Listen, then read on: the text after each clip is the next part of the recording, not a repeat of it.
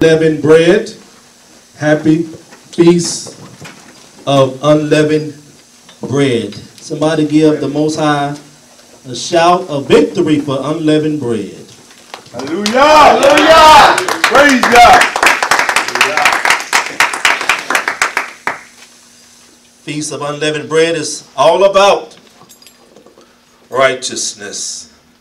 So I want to thank each and every one of you for taking time out of your reverence to come out of your obedience to the commandment which we are about to read right now from uh, Leviticus 23 and 3. Brother, let's get those precepts. And uh, from the Gospel of Luke, the fourth chapter. We always want to come with the scriptures to give a reason why we do what we do. Can stand and read it once you get there, brother. Leviticus 23 reads, And the Most High spake unto Moshe, saying, Speak unto the children of Israel, and say unto them concerning the feast of the Most High, which ye shall proclaim to be holy convocation. Even these are my feasts. Six days shall work be done, but the seventh day is the Shabbat of rest, a holy convocation. Ye shall do no work therein. It is the Shabbat of the Most High in all your dwellings. And let's go from there to the Gospel of Luke, the fourth chapter. Verse 16. Yes. And he came to Nazareth, where he had been brought up. And as his custom was, he went into the synagogue on the Shabbat and stood up for to read. And there was delivered unto him the book of the prophet Isaiah. And when he had opened the book, he found the place where it was written. So we understand that uh, Hamashiach, uh, whom the world called Christ, uh, whom the world called Jesus, that he went into the synagogue on the Sabbath day, on the seventh day, out of his reverence for the Torah. So, uh, if we're going to be a true follower of Hamashiach, if we're going to be a true follower of Hamashiach, Yahawashai, uh, who some say is Hamashiach, Yah, Yahusha. I don't get in that debate, okay? Uh, if we're going to be a true follower, we're going to have to do what he did, which is he kept the Shabbat, okay? And uh, that's what it means to practice what he practiced, and he practiced Torah. So welcome to Shabbat Fellowship here in Fort Worth, Texas. We are the first organized Hebrew Israelite Hamashiach, a Hamashiach congregation of Fort Worth, Texas. I am, my profile is I am uh, Malachi P.L. Reynolds, the facilitator, chief administrator, coordinator, and ambassador, aka apostle of this ministry.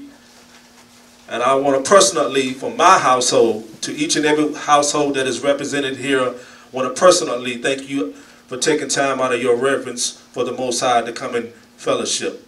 I love you all, and I'm praying for you all. Those of you who I know, and those of you who I don't know.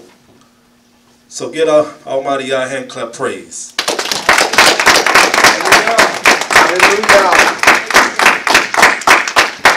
Uh, at this particular time, our um, praise singer isn't here at this time, uh, but I want to encourage other brothers and sisters uh, to help out this ministry and our praise team. Okay, it's nothing wrong with praising the Most High. It's nothing wrong with it. You understand? Uh, that's some that's that's something that this Hebrew Israelite awakening is is missing. Okay. Uh, and this Hebrew Israelite awakening also go to Exodus the 12th chapter. Uh, it's also uh, more than just quoting scriptures. You understand? It's, it's, it's more than just quoting scriptures and and uh, seeing who got the most knowledge and uh, uh, uh, the, the scriptures. The purpose of the scriptures. I did a video on YouTube about the purpose of the scriptures is is to correct you from your errors and from sin and to teach you to be righteous. Hello? Amen. Hallelujah. And last week I wanted Elder Timotheus, Timotheus, did I say that right? Timotheus. Timotheus, I wanted you to speak last week, but the Ruach told me that he wanted me to first bring out uh, what I spoke about last week. Who remember what I spoke about last week? We spoke about families, family structure, family values. We also spoke about the, uh, being a listener first and not being a teacher unless you're called upon to do that. Exactly, exactly. The scriptures, they teach family structure, okay, and family order. And the reason why I, I, I, I was so uh, pressed to do that by the Ru'ah, you understand, was because uh, the number one uh, response that police officers get, the number one call that they get involves uh, domestic dispute. Hello? Excuse me. Domestic dispute. Okay?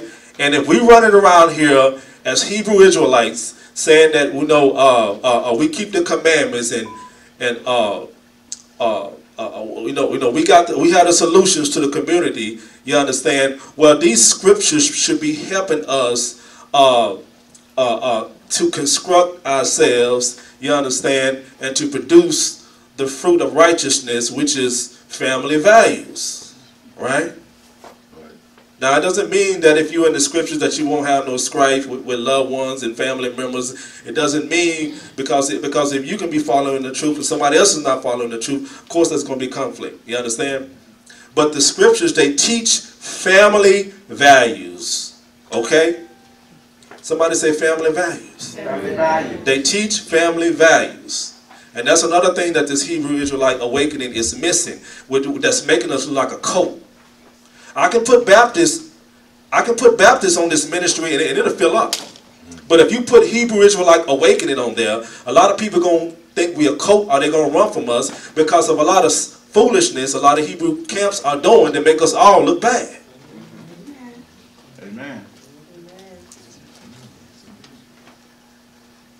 Even when I go into a Sunday church, I don't go in there disrespecting the pastor like some of the Hebrews are doing. You have no authority to do that. You're out of order. That's like me going in Brother uh, Nehemiah's house. I don't care if I am right. I still have no business going in his household, right or wrong, to disrespect his household because he's the head of that house. Likewise, likewise, when it comes to the ministry, I may not know everything, and I never have claimed to know everything, but no one has the right to come in here and to, and to try to undercut my authority as a pastor or as an apostle or an, or an ambassador of the Most High. And I went to the Most High because I keep people out.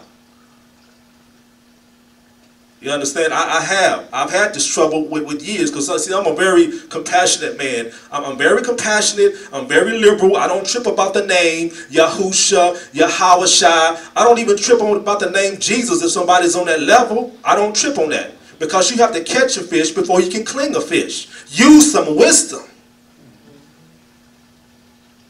Use wisdom. But the Most High, because I went to the Most High about this, and the Most High said, sit down. He said, if they did it, don't you know why they're doing it to you? Because they did it to Moses in the wilderness. His own siblings tried to undercut his authority, right? And then he said, they tried to do it to me too. So you're not greater than Moses, and you're not greater than me. But here's the thing that you should rest assured of. The Most High told me is that you can rest assured that just as Moses was anointed, and of course I was anointed, he says, you are anointed. Now, that was for self-edification. Hallelujah. Hallelujah. You understand? Hallelujah. That was for self-edification. You know what I'm saying? You know, Because I was praying in the Ruha, I was praying in the Spirit. I know some of y'all don't believe, you understand? I know some of y'all just believe that the Hebrew is the only tongue, but I pray in the Ruha. That's that heavenly tongue. Yeah, I speak in tongues. Yeah, so I just don't do it in the uh, in, in the in the assembly because you're not supposed to unless there's an, an interpreter. You understand? But that's for self edification. Hebrew is not the main language. You better get the ruach with the baptism of the Holy Spirit. That's self edification. You don't throw it away just because some in the Son of Theology may be, may, may be misusing and abusing it. You don't put that away. That's real. Now, quickly, quickly, this is the Feast of Unleavened Bread. Uh, before we get this brilliant teacher up, uh, uh, I want to quickly go over the Feast of Unleavened Bread, okay, and get and, and get the conclusion about the Feast of Unleavened Bread or the Feast of Unfermentation, okay? Quickly, quickly. Uh, let's go to Exodus, the 12th chapter. Exodus, the 12th chapter. Start from the 15th through the 20th verse. Read.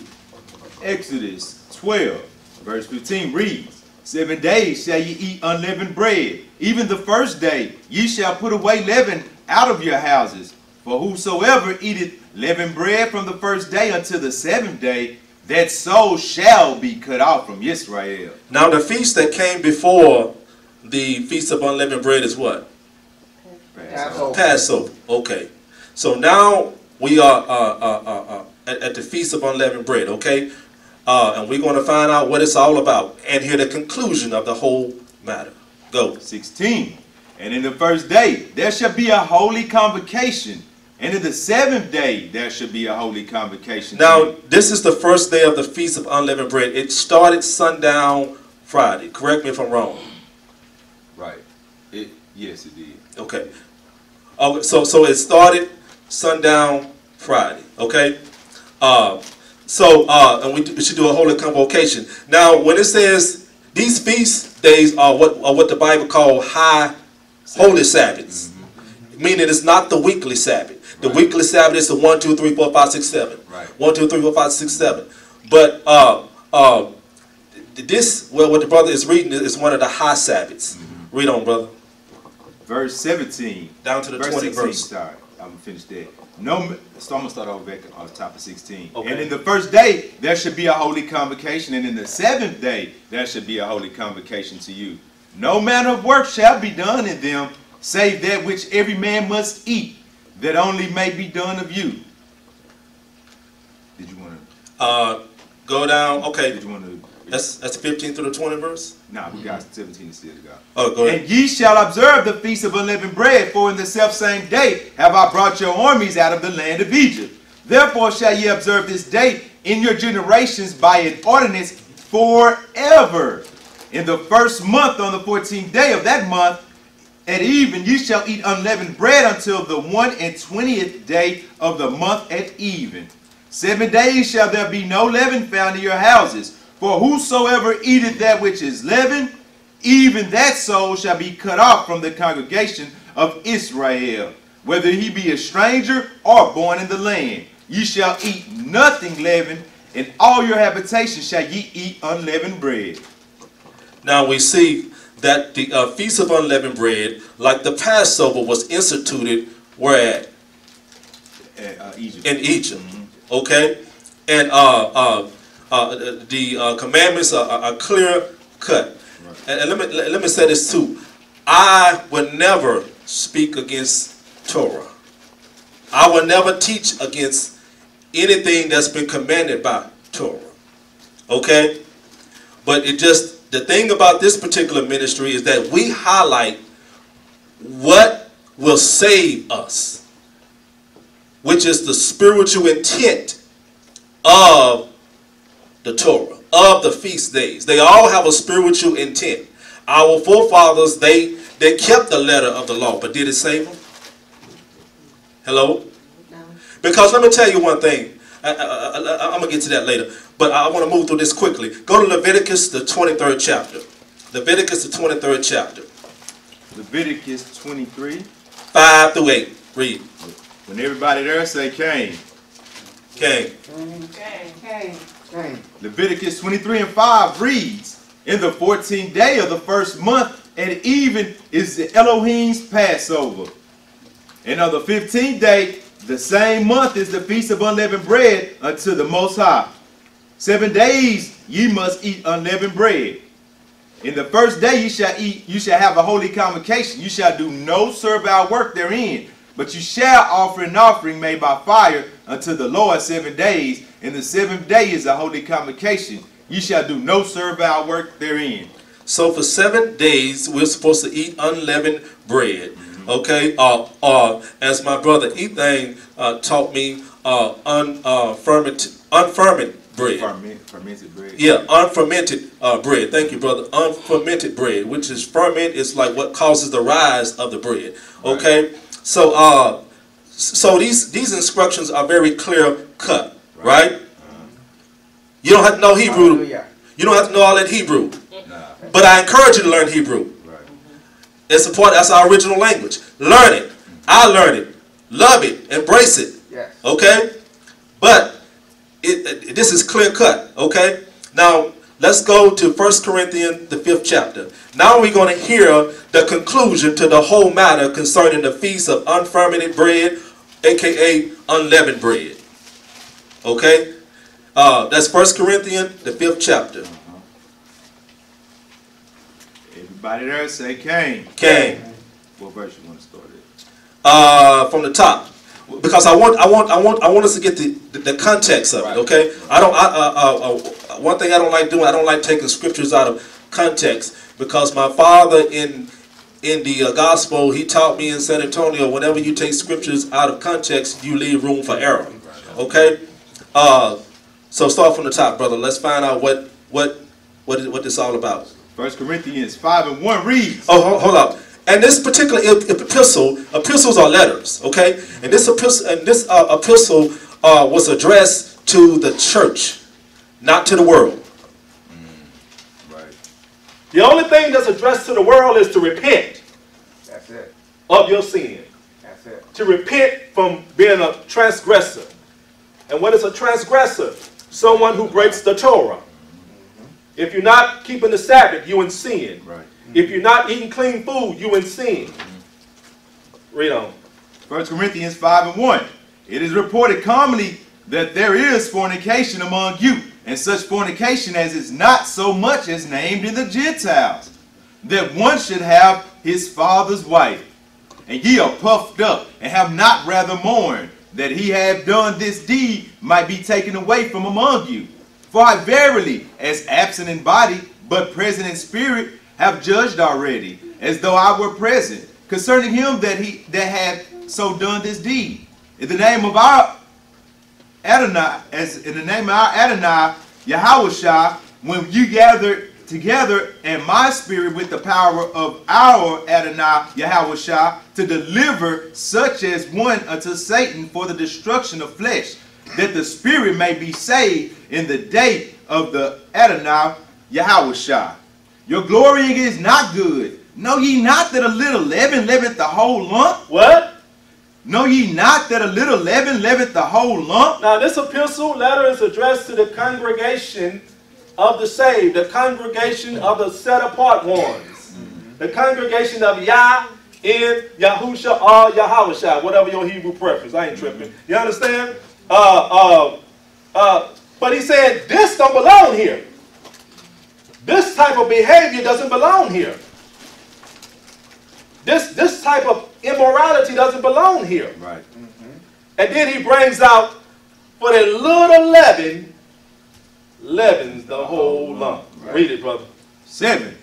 Purge out therefore the old leaven. What? Purge out therefore the old leaven. What?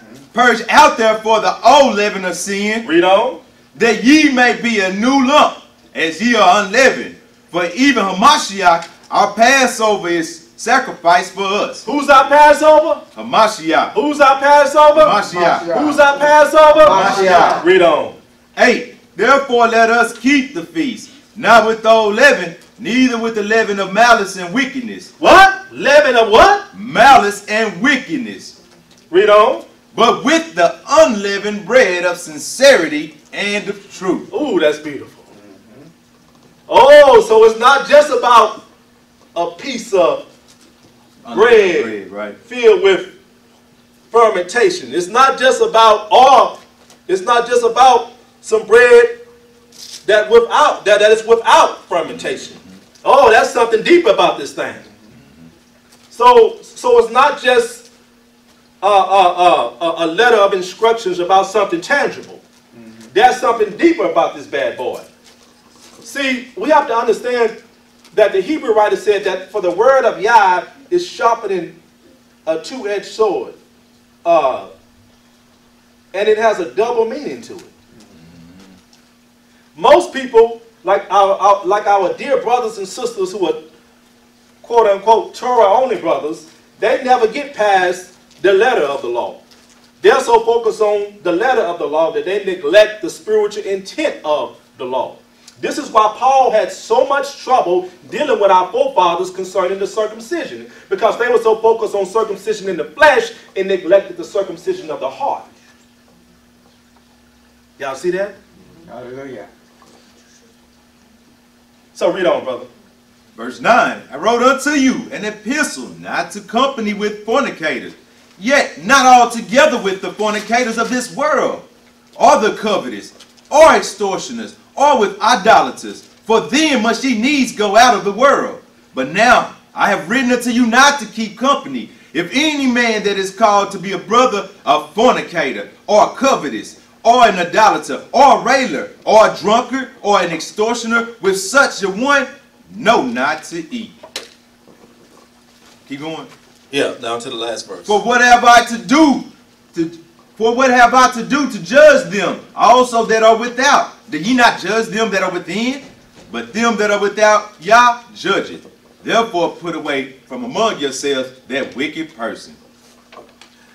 Now, I want you to understand, just because I'm bringing out the spiritual intent of the feast of unleavened or unfermented fermentation bread, I'm not saying, I'm not telling anyone to not get it out your house. Know. I'm not telling anyone to not get the uh, to not get the uh, uh, leavened bread. What he said, Out your house. He he he said Okay. he trying to say keep the law, but make sure you keep the spiritual intent because you Yeah. can keep the letter of the law and still fail on the spiritual side and, and, and, and end up in judgment. So it's a fine Exactly. balance. It's a fine balance, okay? But it's just that I, I just tend to highlight Right.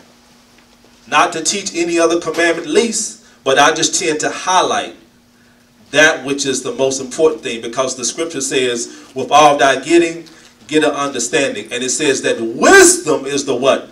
Principal thing. Right. The word principal, at least in English, means the most important thing. So the most important thing was for them to get was to get sin out of their lives. And and Paul was speaking of concerning the leavened and unleavened bread in that in that particular chapter because he was he was appalled that in the church of Corinth, among the set apart ones of, of, of, of Hamashiach, that there was this type of uh, behavior being practiced, which was some sexual immorality of a man having his father's wife.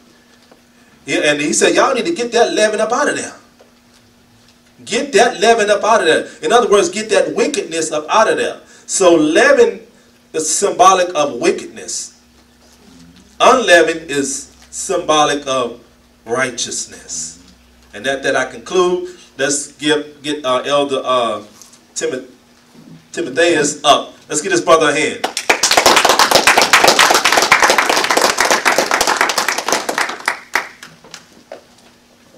Hallelujah. Hallelujah. Yeah. Hallelujah. First, want to give praise to the Most High, Yahuwah, Bar Hashem, Yahawashai, Hallelujah. Barak Kadesh.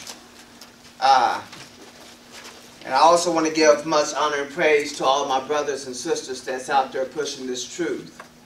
Uh, praise and, and, and, and honor to the elders that are here, Apostle Malachi, uh, Brother Nehemiah, uh, I thank y'all for this opportunity here. Um, it was raining, I think, two Sabbaths ago, and you know, when we have sheep that's out in the field that is not able to come to the assembly, uh, we should be able to avail ourselves to be with them. And uh, Brother Lee, at the time, his family, they couldn't make it out because we had bad storms that particular Shabbat. And uh, they asked if I can come over. So I came over and um, one of the things that I was studying concerning my own personal life was uh, decoding and, and, and casting down the things that I had previously had learned in the church. And the title of this uh, lesson is The Second Coming of the Mashiach is not the way they told us. Hallelujah. The second coming of the Mashiach is not the way that they told us. And one of the famous scriptures that they like to go to is uh, 1 Corinthians 15, 50 uh, through verse 57. You get that?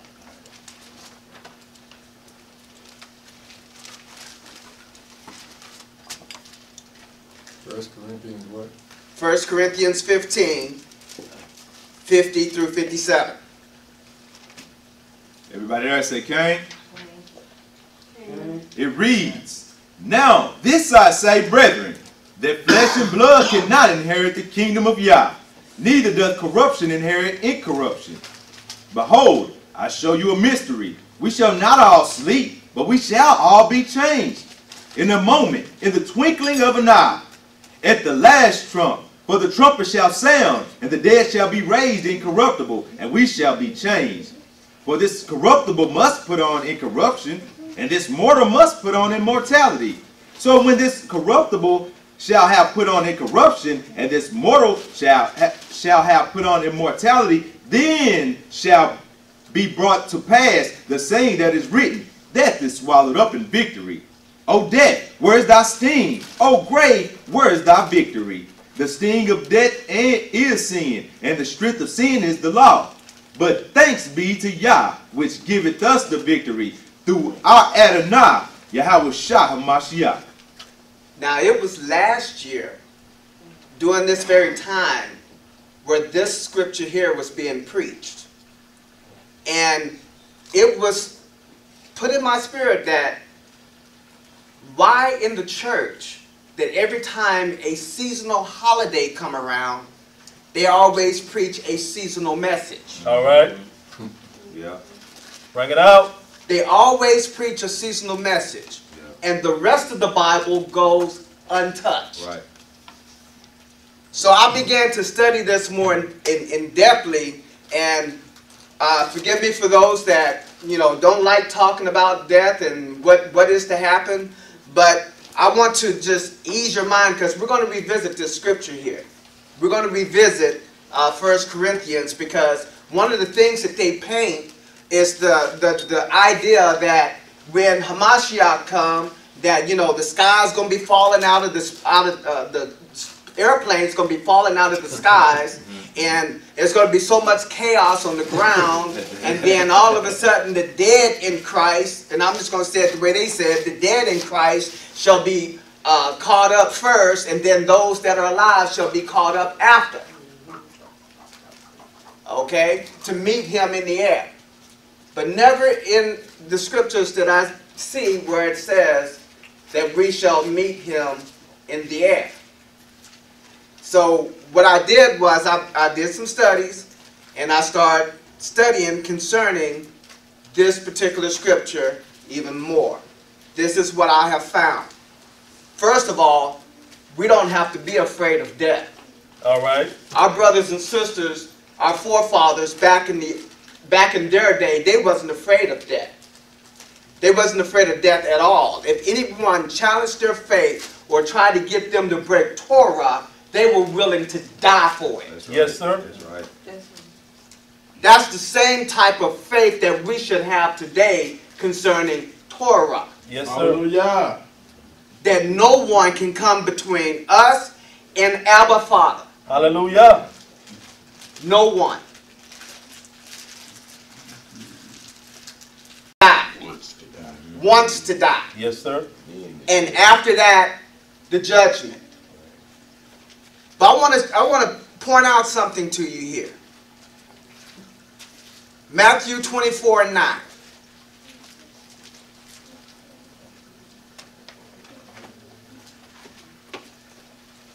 We gotta get there. Say Cain. Came. Matthew 24 and 9 reads, Then shall they deliver you up to be afflicted. Mm. Then shall they deliver you up to be afflicted. But it also says that we will be hated by all nations That's right. for my name's sake. Hated. It doesn't matter what race that we come up against, whether it be the Indians, Hispanics, the so-called Americans here. All race hates us. It's for a particular reason. That's right. Luke 21, 17 through 18. Mm-hmm. Let's turn there.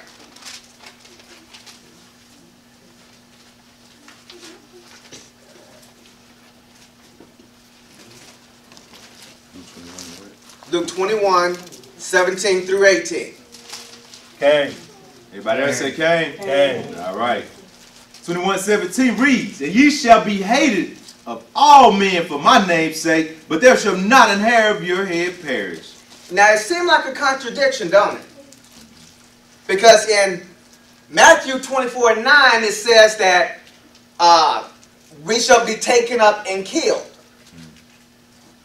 In this particular verse, it says that not a hair on our head shall be harmed. That's right.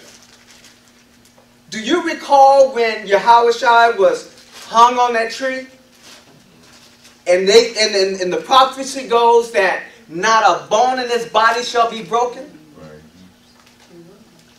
It wasn't. Not a bone. Okay? When the centurion soldier went around to crush the knees of those that they saw that was alive to help expe- expedite death, to speed up the, the rate of death, when they got to Yahushua, he had already given up his spirit. He had already had passed away. Right. So therefore, they took a spear and jabbed it in his side until water and blood flowed. Mm-hmm. And when that happened, they did not crush a bone in his body. That's Yahuwah's way of showing the enemy that he is still in control. Hmm. So how is it that we shall be killed, but not a hair on our head be disturbed or destroyed? Go with me to Luke 12, 4 through verse 4, uh, verse 4 through verse 7. Mommy. All right. Y'all there? Cain. Okay. Luke 12, verse 4. And I say unto you, my friends, be not afraid of them that kill the body, and after that have no more that they can do. But I will forewarn you, whom ye shall fear. Fear him which after he hath killed the power to cast you into hell. Yeah, I say unto you, fear him. Are ye are not five sparrows sold for two farthings, and not one of them is forgotten before Yah? But even the very hairs of your head are all numbered. Fear not, therefore, ye are of more value than many sparrows. So here it is, the scripts say that we're not to fear the one that can destroy our body because flesh and blood is not going to inherit the kingdom of Yah. Right. That's right. Mm-hmm. That's why it is appointed once unto man to die. But when we keep Torah and we keep his laws, his statutes, and his commandments, and be faithful unto the end, regardless of what we think these people would do to us, not a hair on our head would be destroyed. Yah said he has the very hairs on our head numbered. Hallelujah. And the reason why he said that is because we're not to be afraid of those that can kill the body, but be afraid of the one that has the power to destroy both body and soul. Right. Hallelujah. Beautiful, beautiful. Both body and soul. Hallelujah. So therefore, when we read in Sirach 24, 38 through 42, which is Matthew 24, 38 through 42, if you turn there. And I'm going to go through this pretty quickly.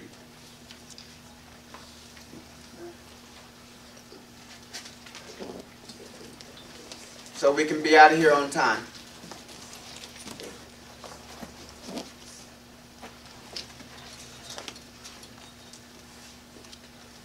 Go ahead. 24 2, 24, 38 through 42. 38 through 42, sorry. Matthew 24, 38 reads, For as in the days, for as in the days that were before the flood, they were eating and drinking and marrying and giving in marriage until the day that Noah entered into the ark, and knew not until the flood came and took them all away. So shall also the coming of Son of Man be. So look at what's going on here. The very same thing that's going on today. Everybody eating, drinking, being married, living their lives the way they want to live it, All right. living in ho- sin, living in ho- homosexuality, trying to bring back the, the days of old. All right. Right? Mm-hmm. When the scripture explicitly tells us that no man knows the time nor the hour, not even the Son himself knows that when he is to come back. No one knows. Right. So how are we to be living our lives? We're to be living our lives by Torah, being faithful until the end. Mm-hmm. Read. Verse 38. You s- I'm inside verse 40. 40. Then shall two be in the field. Then one shall be taken and the other left. Two women shall be grinding at the mill. Then one shall be taken and the other one left. Watch therefore, for ye know not what hour your Adonai doth come. Watch therefore, Hallelujah. Yeah. for no one knows when our Adonai comes. That's right. Right. Two shall be in the field, one taken and one left behind. Mm-hmm.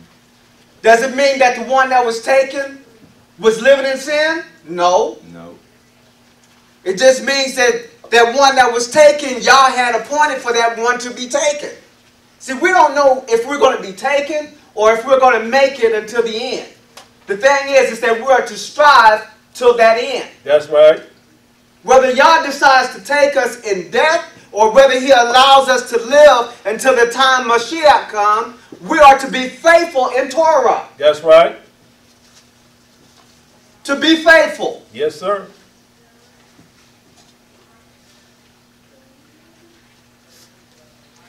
Regardless of our situations in life, be faithful and diligent till the end. Now let's turn to Matthew 24 and 13.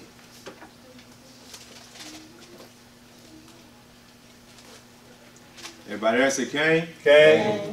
It reads, But he that shall endure unto the end, Yes. the same shall be saved. The Hallelujah. same shall be saved. Matthew 15 and 24.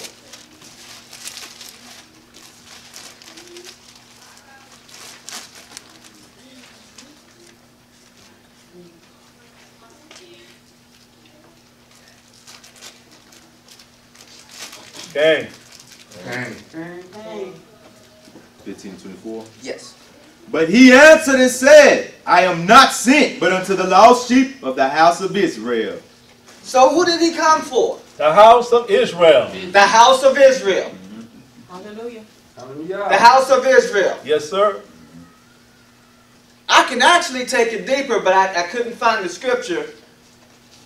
When he comes back, he's coming back for those that is keeping Torah. That's right.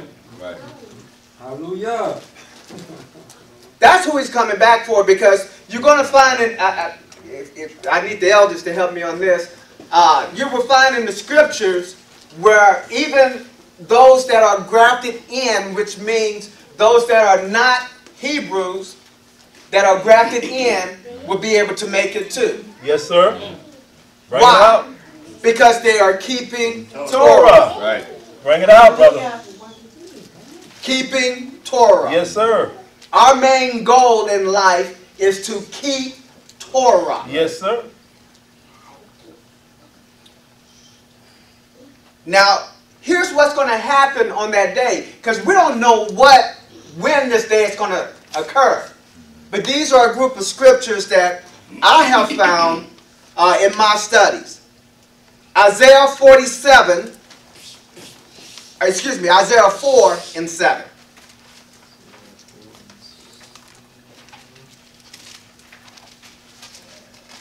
Excuse me, not Isaiah, I'm sorry, Jeremiah. Jeremiah 47. Jeremiah 4 7.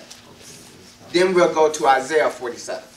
I'm, I'm going ahead of myself. Jeremiah 47, When y'all get there, say Cain. King. Praise God.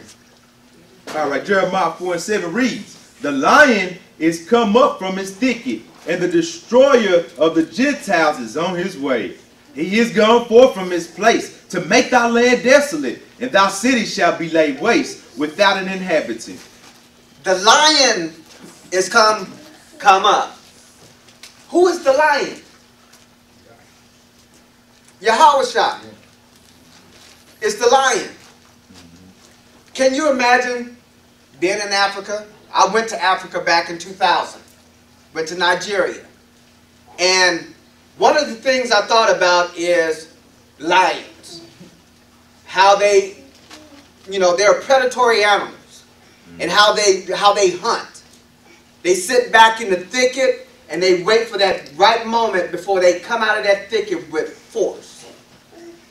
They're not coming out to give give roses or anything. They coming out for a purpose. And when they come out, they come out strong and mighty. In this scripture right here, it's talking about Yahweh being that lion, coming out of the thicket, strong and mighty. And is a destroyer of the Gentiles, a destroyer of the other nations. Yes, sir. And, and is on his way. I want to point out something. Remember when Trump got into office? And he said that he was going to now turn our attention to space wars? Yes, sir. Why is that? Trying to prepare for the return. Trying to prepare for the return. I have found out that there are many obs- observatories that are now not allowing their stuff to go on site. They closed a lot of them. too. They closed a lot of them because they see what they are now calling Nibiru on its way toward the earth. Israelites. They have talked about this once before. Well, it's in the scripture where it happened once before. Yes, sir. But this particular thing that they seeing is the coming of our Mashiach. It's not some planet that they're trying to say, as if we live on a planet ourselves.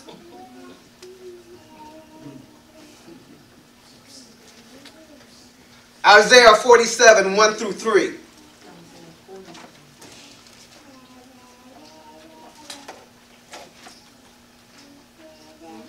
Y'all there, say Cain.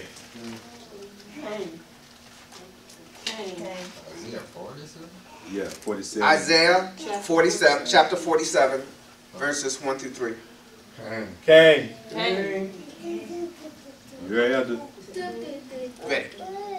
Come down and sit in the dust, O virgin daughter of Babylon. Sit on the ground. There is no throne, O daughter of the Chaldeans. For thou shalt no more be called tender and delicate. Take the millstones and grind meal. Uncover thy locks. Make bare the leg. Uncover the thigh. Pass over the rivers. Thy nakedness shall be uncovered. Yeah, thy shame shall be seen. I will take vengeance, and I will not meet thee as a man. Mm.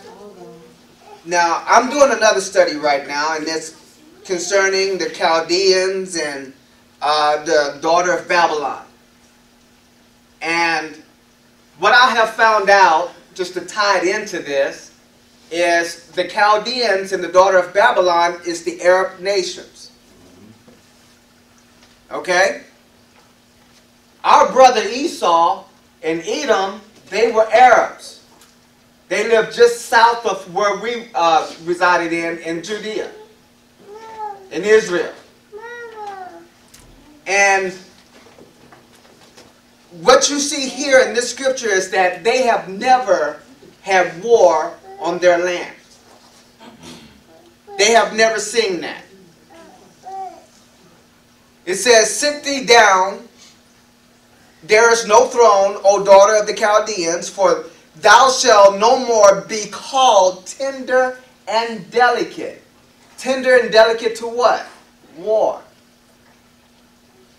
Yahushua is not coming to shake hands with them because of what they've done to us.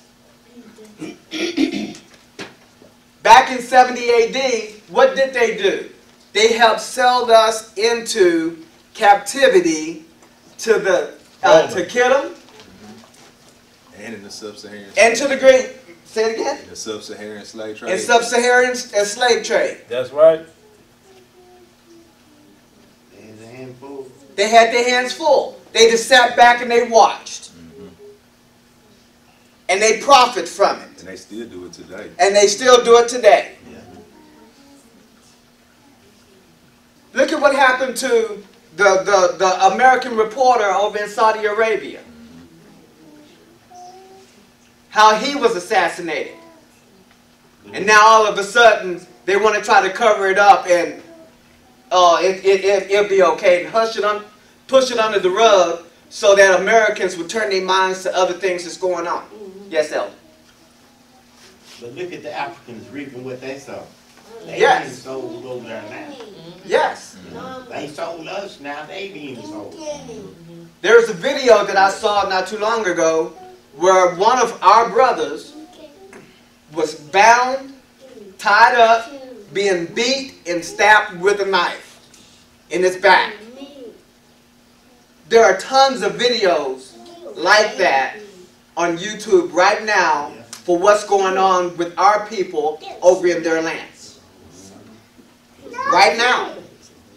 It's not good to go over there. Exactly. Isaiah 13, verse 6 through 9.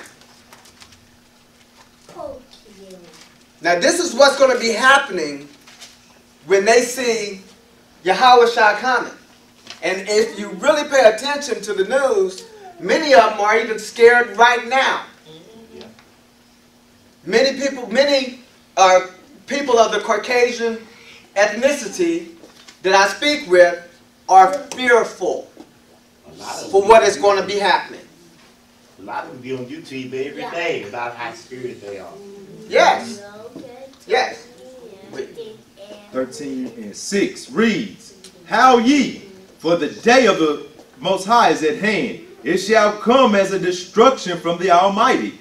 Therefore shall all hands be faint, and every man's heart shall melt. And they shall be afraid. Pains and sorrow shall take hold of them. They shall be in pain as a woman that travaileth. They shall be amazed one at another. Their faces shall be as flames. Behold, the day of the Most High cometh, cruel, both with wrath and fierce anger, to lay the land desolate, and he shall destroy the sinners thereof out of it. For the stars of heaven and the constellations thereof shall not give their light. The sun shall be darkened in his going forth, and the moon shall not cause her light to shine. And I will punish the world for their evil and the wicked of their iniquity, and I will cause the arrogancy of the proud to cease, and will lay low the haughtiness of the terrible. Now look at here. It tells them how ye, for the day of Yahuwah is at hand. That's right. How?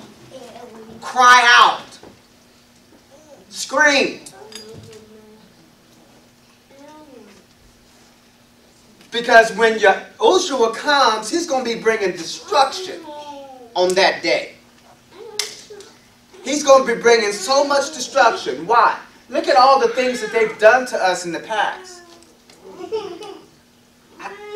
Husbands, if someone came into your home and defiled your home and pillaged your wife and murdered your wife, how outraged would you be? I'd be killing angry. Man. Killing angry. They say, do not forget the past. All the things. So if we are, if we, as wives to the Most High, are the apple of His eye, and we was put away for a reason because we was, you know, our forefathers was uh, worshiping all these other idols and so forth, being a harlot. So I can understand why we were put into bondage for that punishment. But they took it too far. That's right. They took it way too far. That's right. When our women and so forth would have their children and they would put them down so they could go pick cotton or whatever it is they need to do, and then the master would come and take their babies and use them for gator bait. Can you imagine how that woman felt when she turned back around and saw her baby was gone? Yeah. But yet she has to get the master's baby and, and, and, and, and breastfeed that master's baby? Yeah. The countless of rapings and so forth that happen? Yahweh is, is not going to be like when he come back. He's not going to be as what they told us that when he come back, he's just going to have his arms stretched out wide. That's it. Come, my children. No, he's not. It's, uh, Keep it real. Make it's it just plain. like Zechariah one fifteen. Zechariah what? Zechariah 115. Let's get that.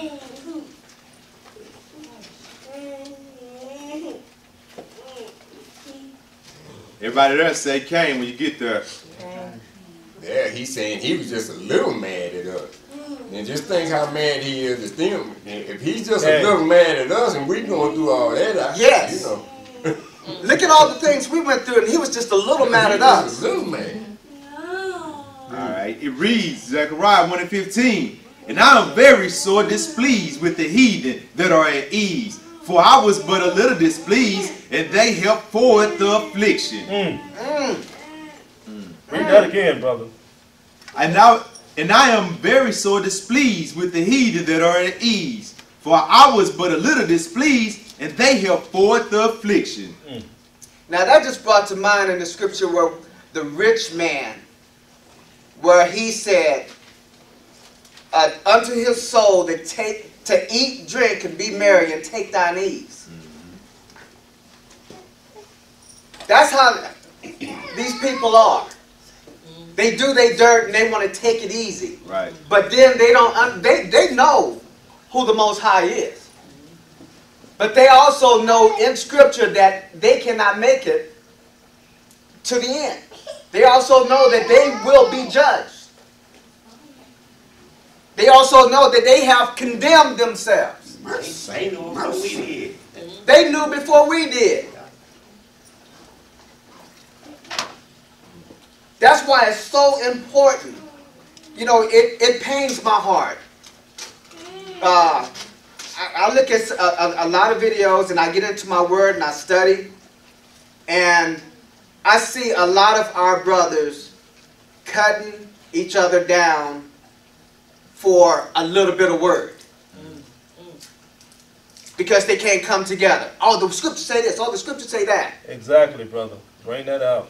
And they fight so much on the letter of the law, There you as go. apostles say, they fight so much on the letter of the law that they forget the, the principle of it. Yes, sir. Does it really matter? Matter of fact, I'm gonna go ahead and do this demonstration. Uh, Brother AJ, bring me that glass, please. I've seen it so much on Facebook, it made Christians leave the Hebrew faith.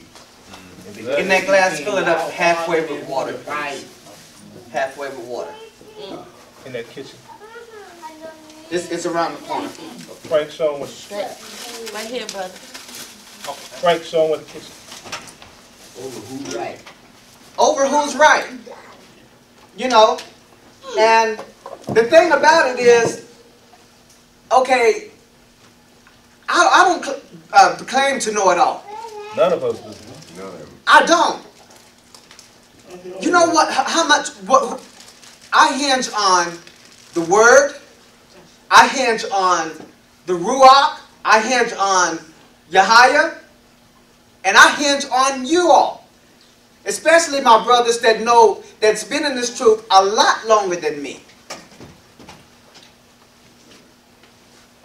I want to show you this demonstration concerning what they talk about.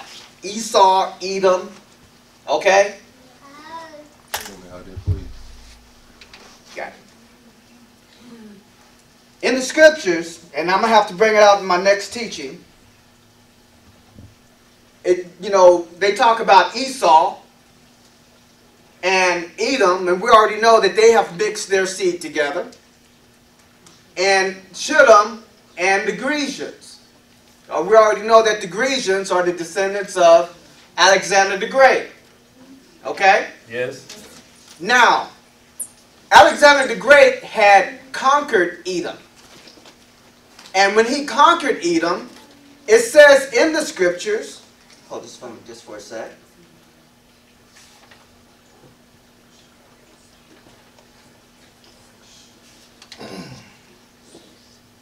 If you turn to Jasher 90, verse 8 through 9.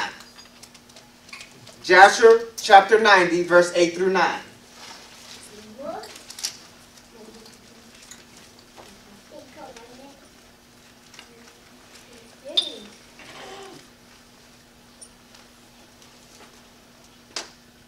Which after Jasher, 90, 90. verses 8 through 9. Verses 8 through 9. And it reads, And the children of Chittim ruled over Edom. And Edom became under the hand of the children of Chittim, and became one kingdom from that day.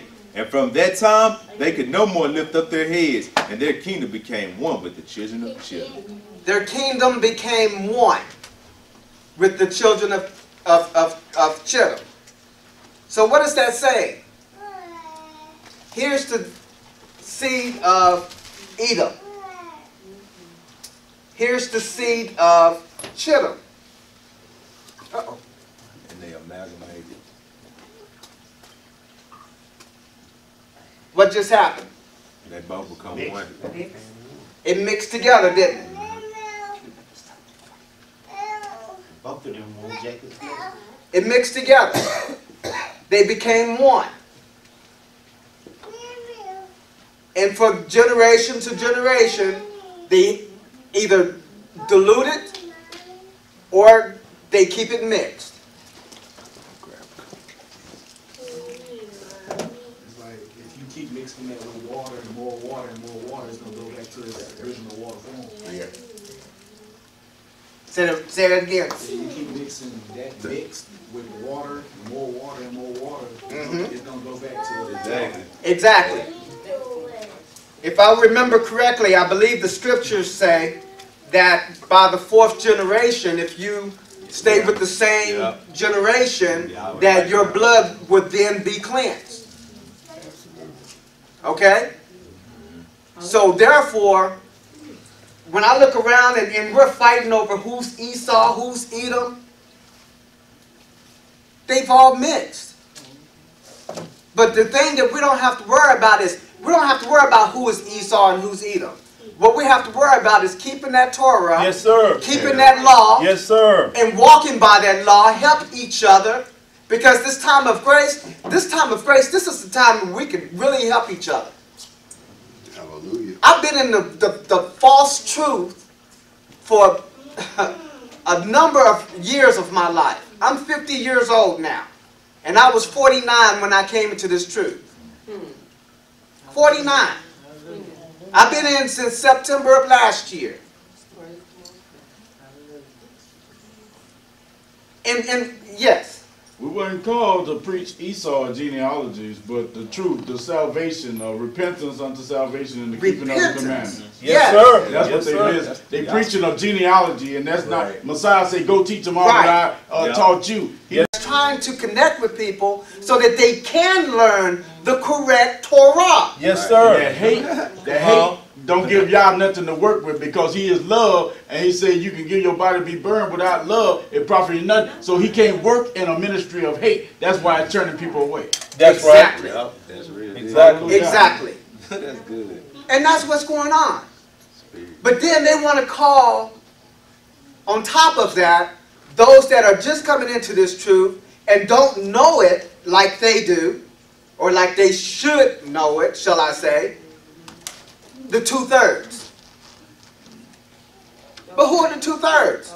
The two thirds are those that are y'all's people that are not keeping Torah. Not keeping it.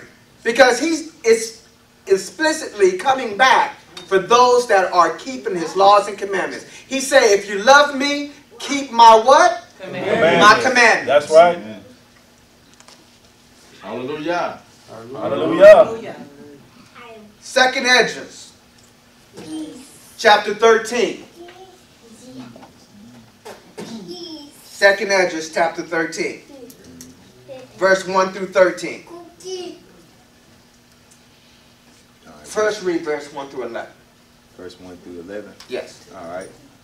And it came to pass after y'all there came. All right. And it came to pass after seven days. I dreamed a dream by night, and lo, there arose a wind from the sea that it moved all the ways thereof. And I behold, I beheld, and lo, that man waxed strong with the thousands of heaven. And when and when he turned his countenance to look, all the things trembled that were seen under him. And whensoever the voice went out of his mouth, all they burned that heard his voice, like as the earth filleth when it filleth the fire. And after this I beheld, and lo, there was gathered together a multitude of men out of the number, from the four winds out of heaven, to subdue the man that came out of the sea. But I beheld, and lo, he had he had graved himself a great mountain, and flew upon it. But I would have seen the region or place whereout the hill was graven, and I could not. And after this I beheld, and lo, all they which were gathered together to subdue him were so afraid, and yet durst fight. And lo, as he saw the violence of the multitude that came, he neither lifted up his hand, nor held sword, nor any instrument of war.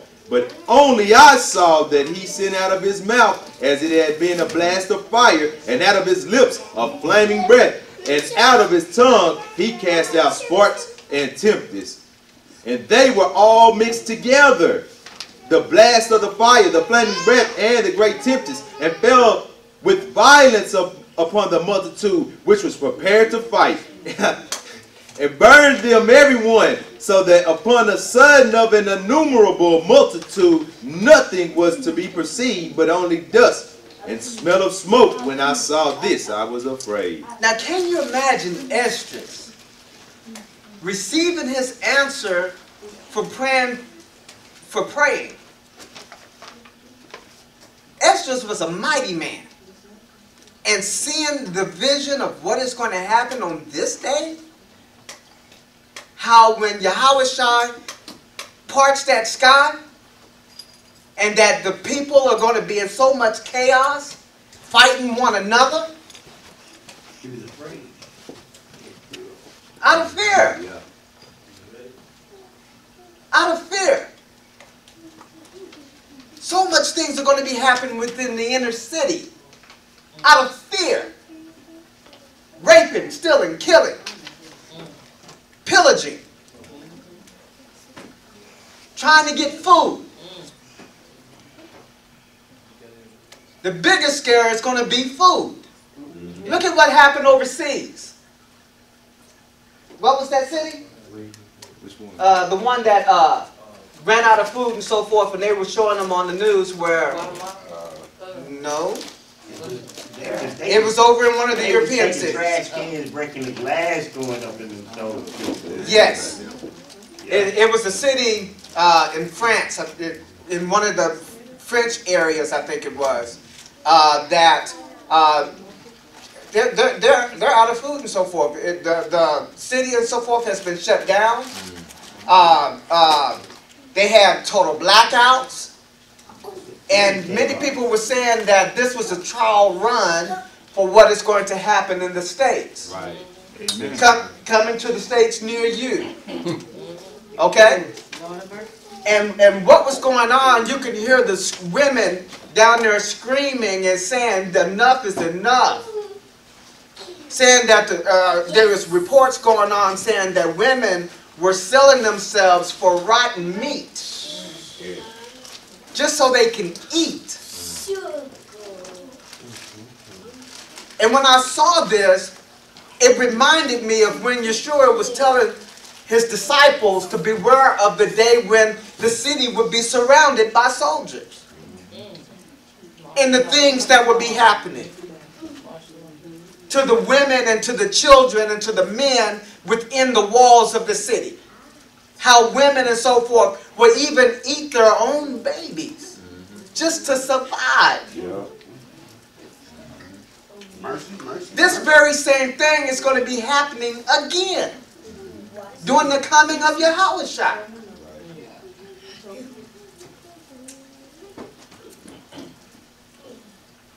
So who is he coming for? Jeremiah 50, 33 and 37.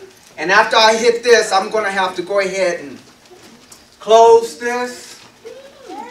And I'm going to have to do a part two to finish this up. Jeremiah 50. Jeremiah 50, verse 33 through 37.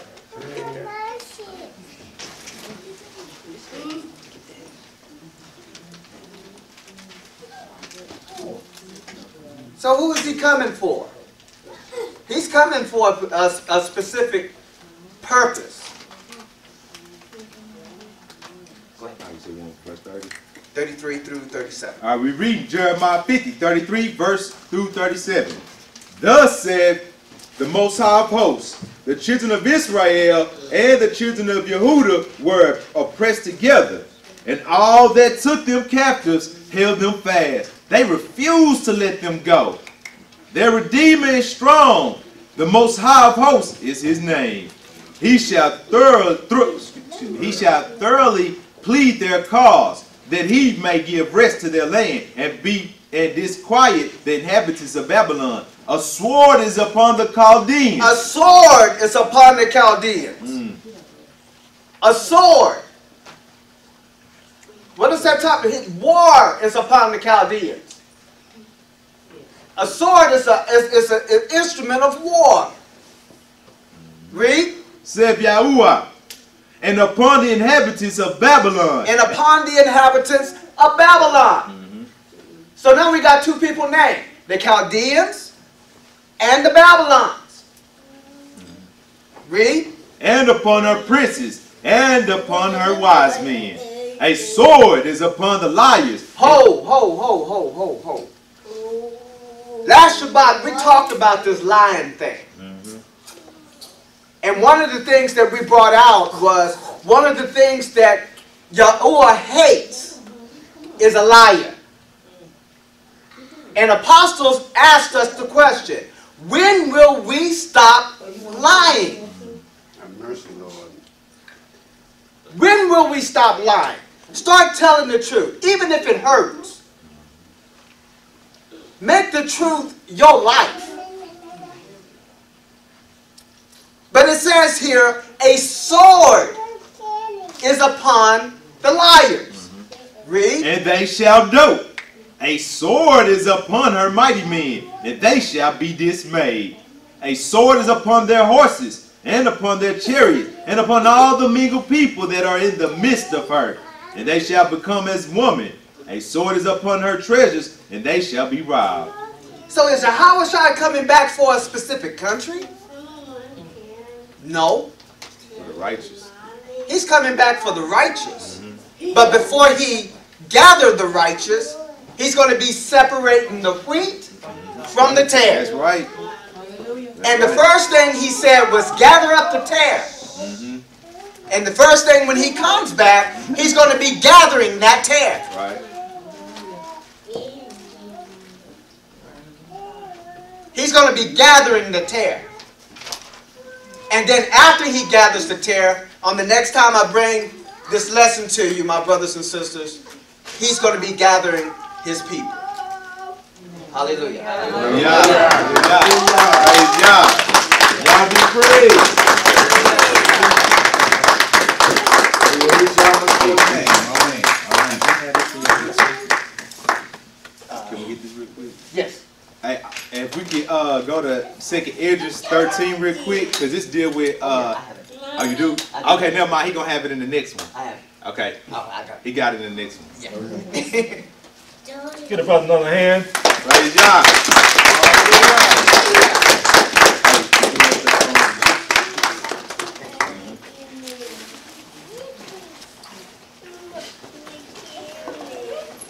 Beautiful. Beautiful message. I certainly enjoyed that message. Uh, I really enjoyed it. Uh, I'm a note taker. So I, I, I wrote some notes down as the brother was teaching, especially from uh, uh,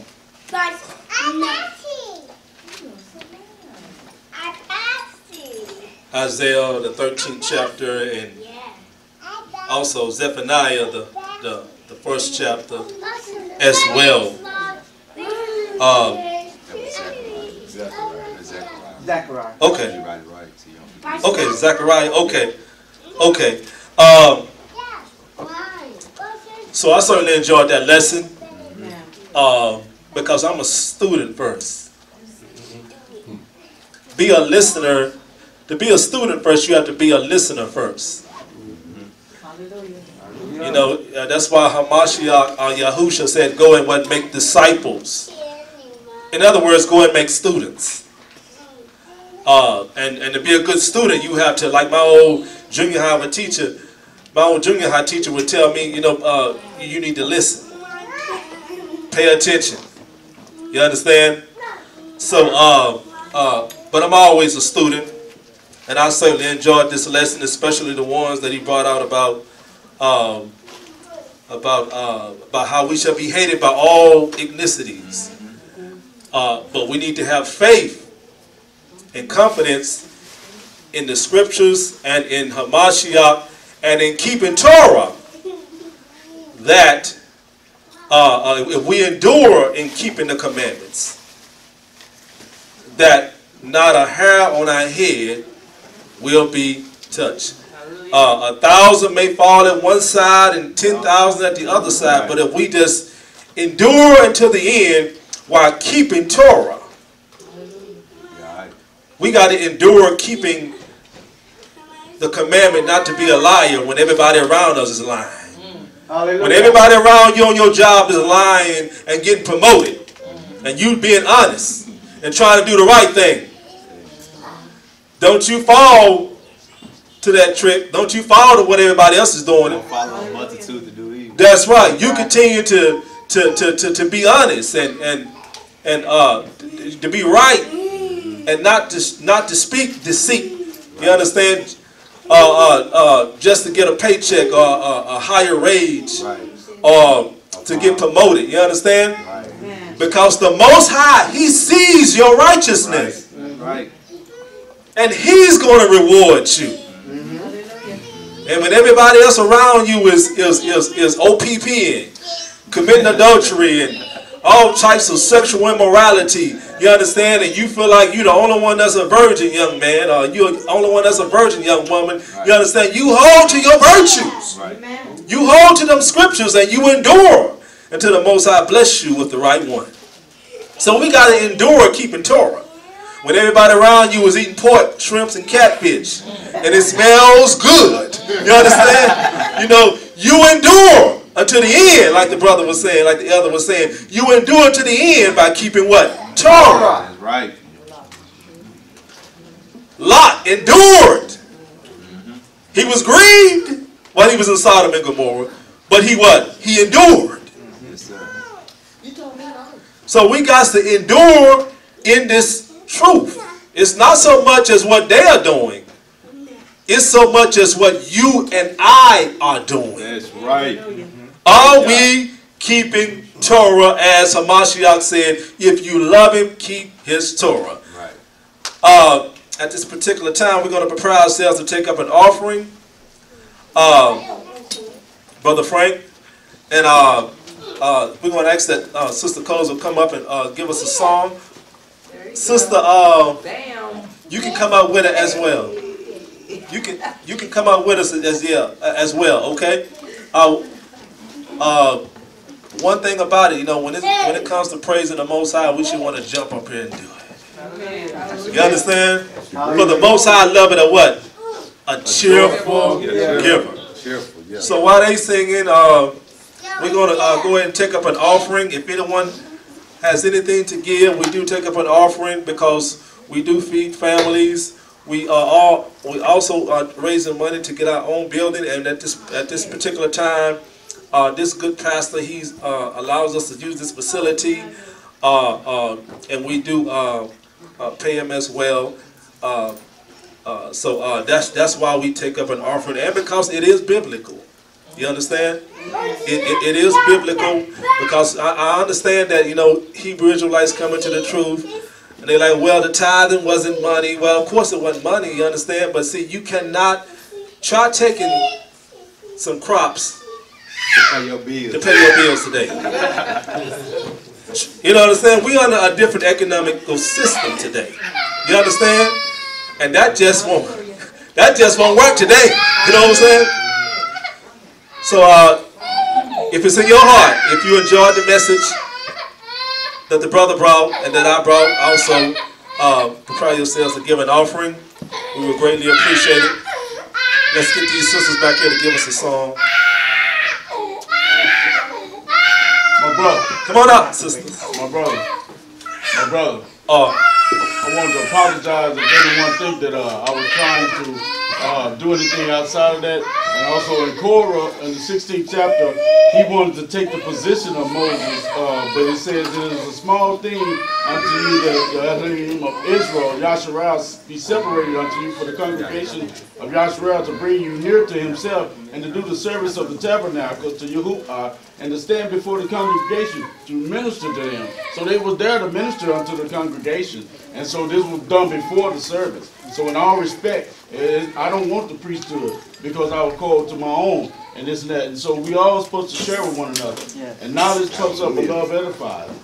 And then also he said, my people perish because of lack of knowledge. And because you reject knowledge, he said, I reject you from being priest for me. And how long will you hate wisdom, you simple ones? Wisdom cries at the street. So we must encourage one another as it is today to grow. And so we don't reject knowledge. Right. y'all go ahead. Hallelujah. Hallelujah.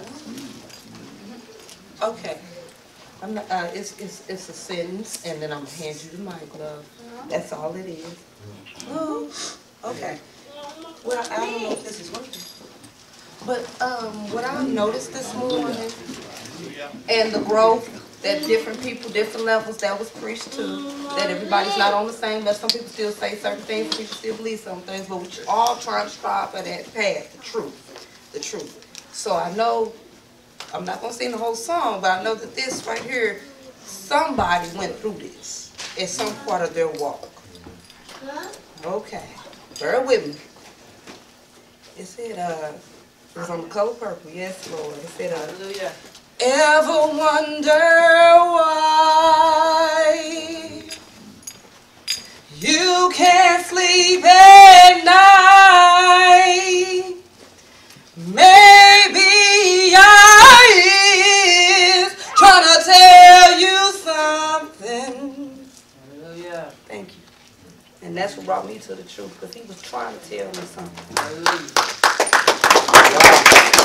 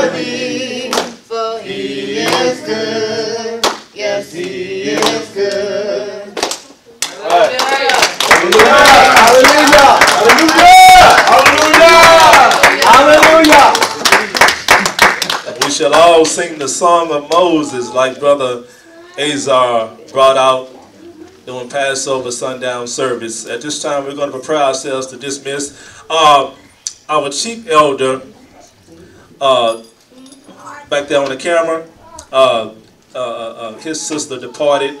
So uh, we want to uh, get ready to conclude because he has to go over there for uh, uh, to assist. Um, and we want to pray for our elder that the Most High would comfort him and his family. Okay. Yes, sir. My uncle passed last week. Okay. My mother's brother. So pray for her as well. Okay. Let's let's pray for our brother, our dear brother Azar as well. Right now, let's pray. Oh Abba Yah, we come to you in the name of Yahweh Shah or Yahusha, that name that is above every name. We pray that you will comfort those who are mourning the departure of a loved one, Brother Azar and his loved ones, who are mourning the departure of his uncle. Elder, our chief elder right here, comfort him and his loved ones who are mourning the departure of his dear sister. We know that in you there is eternal life. And we know that these men have prayed over their loved ones even before they departed. And we trust that you, Abba Yah, will see to the comfort of the loved ones who have been left behind. We pray that you will comfort them with all comfort because the scripture says that you are the Elohim of all comfort. And because of you we have hope. And as Elder Timothy has brought out, Timothy has brought out, that because of you we have no fear of death. We only have an expectation of what is to come. So we pray that you will comfort everyone that is mourning right now in the name of Yahweh Shah Yahusha. Everyone say hallelujah. Hallelujah. Uh, once again, I want to thank each and every one of you for coming, taking time out of your out of your reverence for the Most High. Let's give Elder Timotheus another hand for that beautiful message. And he will have the opportunity to bring out part two uh, next Shabbat as well. Uh, and I really appreciate him because I, I, I really didn't feel like uh, teaching this morning. You understand? But but it, it, it was of the Most High because it was in my ruach that um, that He bring forth the message. Okay, um, it was definitely in my ruach, and I, I want to I just want to really stress this. I really love you all, and I'm praying for you all. And let's continue to witness to our people in love and kindness. Uh, over there, I would like for everyone